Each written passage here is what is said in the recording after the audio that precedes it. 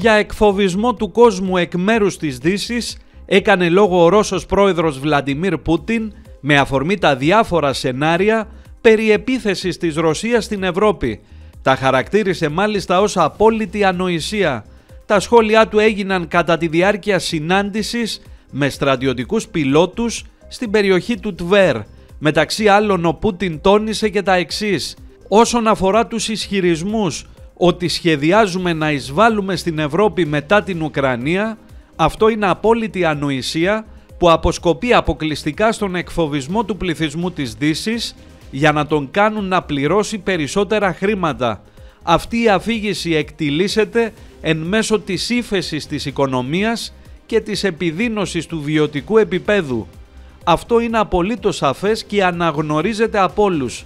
Αυτό δεν είναι προπαγάνδα. Συμβαίνει στην πραγματικότητα. Πρέπει να δικαιολογηθούν, επομένως εκφοβίζουν τον πληθυσμό τους με μια πιθανή ρωσική απειλή ενώ επιδιώκουν να επεκτείνουν την υπαγόρευσή τους σε ολόκληρο τον κόσμο, είπε ο Πούτιν. Σύμφωνα με τον ίδιο οι δορυφόροι τον είπα φοβούνται μια μεγάλη ισχυρή Ρωσία αν και το κάνουν μάταια. Δεν έχουμε επιθετικές προθέσεις απέναντι στα κράτη του ΝΑΤΟ, τόνισε ο Πούτιν. Δεν ήταν η Ρωσία που κινήθηκε προς τα σύνορα των χωρών του ΝΑΤΟ, όλα έγιναν αντίστροφα είπε. Δεν αγγίξαμε κανέναν, κινούνταν προς το μέρος μας.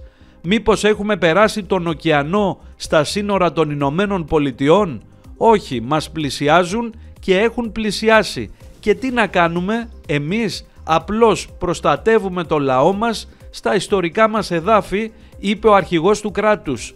Ταυτόχρονα εξέφρασε τη βεβαιότητα ότι τα μαχητικά F-16, ακόμη και αν οι δυτικές χώρες τα προμηθεύσουν στην Ουκρανία, δεν θα μπορέσουν να αλλάξουν την κατάσταση στο πεδίο της μάχης.